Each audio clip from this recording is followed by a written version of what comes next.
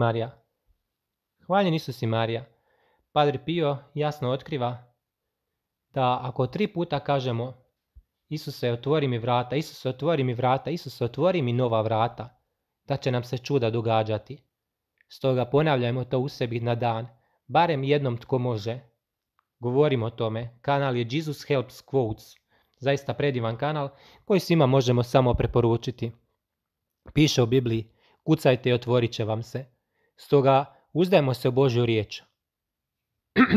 Ali uzdajmo se u Božju volju, jer Bog naravno zna što je najbolje za nas. Mnogi se mole godinama za jednu stvar i ne dobiju i onda se ljute. Nažalost i zamrze gospodina. Ali to ne treba raditi. Jer Bog zna šta je najbolje za nas. Mnogi kad dobiju neku stvar upropaste se. Stoga nismo spremni možda za tu neku stvar, za tu neku vezu, za taj neki posao. Upravo zato jest toliko bitno vjerovat Bogu, ne preispitat ga, ne optuživat, napadat ga.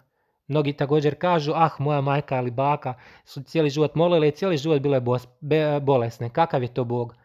No vi zaboravljate da oni sada uživaju u vječnosti, raj, mir i ljubav. I da smo ovdje na zemlji zato da nosimo svoj križ. Te i kroz bolest Bog može mnogo toga prikazati i prinijeti. Može biti za ozdravljenje nekoga, za spas duše nekoga, to mi ne znamo. Baš zato moramo vjerovati, čista srca, a ne govoriti ovaj je zao, a ima sve, a ja dobar nemam ništa. Jer ti ne znaš njegov kraj, ti ne znaš njegov završetak, ni na zemlju, ni za ovog života. Boga jako vrijeđa kada mislimo da je nepravedan.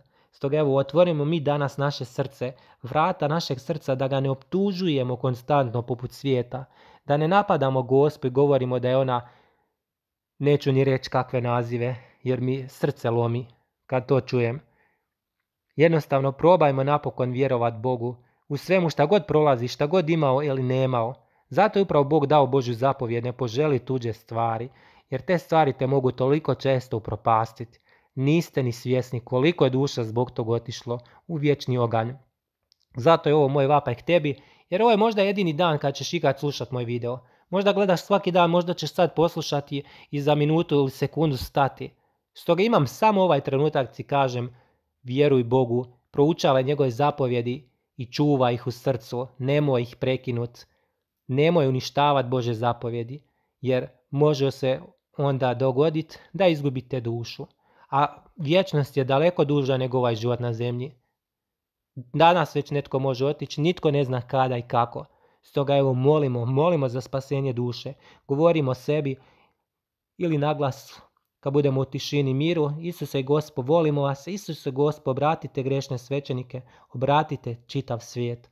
Da, i za svećenike treba moliti, te kako, a ne ih napadati i optuživati. Isto vrijedni naravno za biskupe, papu, kardinale, za sve druge unutar crkve, časne se stara, Franjevce. Molimo za njih jer oni su na prvoj frontnoj liniji. Moramo biti svjesni da njih to na više kuša nego nas, jer želi na taj način ukloniti sve, Nestane li pastir, nestaće i stado. Ali evo, mi se borimo i molimo Mihala Arkanđela za zaštitu, da preko ovih videa možemo svjedočiti. I samo zbog toga unaprijed hvala svima na svakom lajku, komentaru, svima vama koji podijele dalje. Nisu nam bitni lajkovi, ali na taj način YouTube prepoznaje da vi želite da svoje video širi dalje, pa ga on predlaže sve više i više ljudima. Bez vaše pomoći ne možemo. Stoga evo, ako smatrate ovo imalo korisnim, hvala mu od srca što dijelite dalje. Ako ne znate šta bi napisali, živjeli Isus i Gospa je uvijek predivan komentar. Evo, hvala vam na ovoj duhovnoj borbi, kao što smo rekli, govorite Isuse, otvori mi sva vrata, Isuse, otvori mi sva vrata koja su dobra za moju dušu, koja su dobra za moj život. Ovo su naravno vjerski savjeti, stoga molite se Duhu Svetom za vodstvo i sve vaše životne odluke. Ovo je bio video Jesus Helps Quotes, to jest potaknut njegovim videom. Hvala vam što ste pogledali ovo. Boži gospin blagoslovom želimo.